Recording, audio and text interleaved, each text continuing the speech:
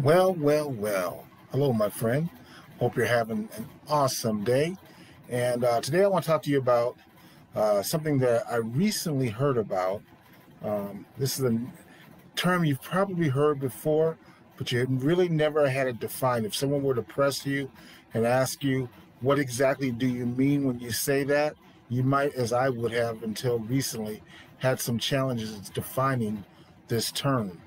And the interesting thing about this term is that what we what has been found is that most people who are having challenges in reaching out and achieving their goals, the reason why they're reaching out and having troubles achieving their goals is because they haven't been able to deal with this term. Now, what's this term? The term is paradigm shift or your paradigm. What is a paradigm? You know, um, there's a, a, phrase by a gentleman by the name of uh, Stephen Covey. He talks about paradigms in his book, Seven Habits of Highly Effective People. He tells a story of um, a guy with a bunch of kids who gets on a bus and the kids are rambunctious and they're, you know, just making a mess of things and they're acting up and the father's just sitting there. And I just and the kids are just disturbing everyone on the bus until someone finally reaches over to the father and says, Are you going to do something about your kids? And the father looks up, acknowledges, and says, Oh, yeah, I will. Um, we're coming back from the funeral. Their mother just passed away. And once that person who asked the father to deal with their kids heard that, it totally changed their whole feeling about the kids and what they were doing. In fact, everyone who was in earshot of that issue suddenly became the supportive person or persons for this family that had just gone through this tragedy. And that's what Stephen Covey talks about when he says the words uh, paradigm. Well, what's a paradigm? The greatest definition I've heard, and I've only heard this recently, that's why I wanted to share it with you, is that a paradigm is a collection of habits.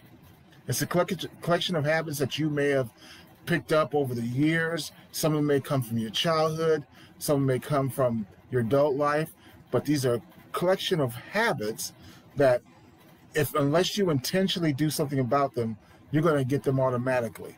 And the only thing that can change those habits is number one, a traumatic event, or number two, an intentional focus on working to change those habits. So, as you're going towards that golden dream, and the reason I want to say this is I want to tie it back to what I said yesterday.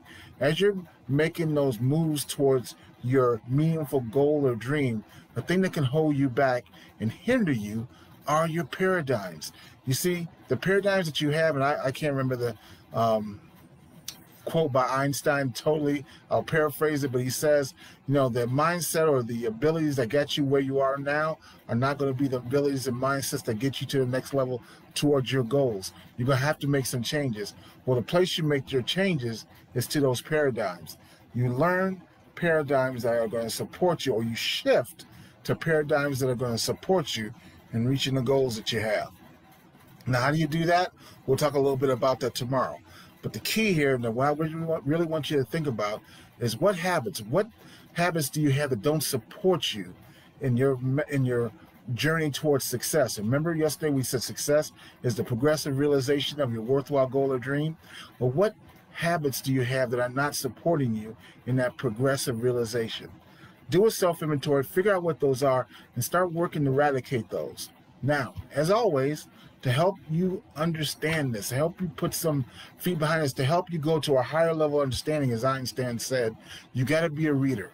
Readers are leaders, and I don't care as you know, unless you do, if you do it on a Kindle, if you get a hard book, or you do it through Audible, but you got to be reading. Top five books that you should be reading right now. Inbox me. I'll get that list of the top five to you. In the meantime, do that self inventory. Again, do the self inventory and inbox me for the top five books you should be reading right now. Have an awesome, blessed day, and we'll talk to you tomorrow. Bye bye now.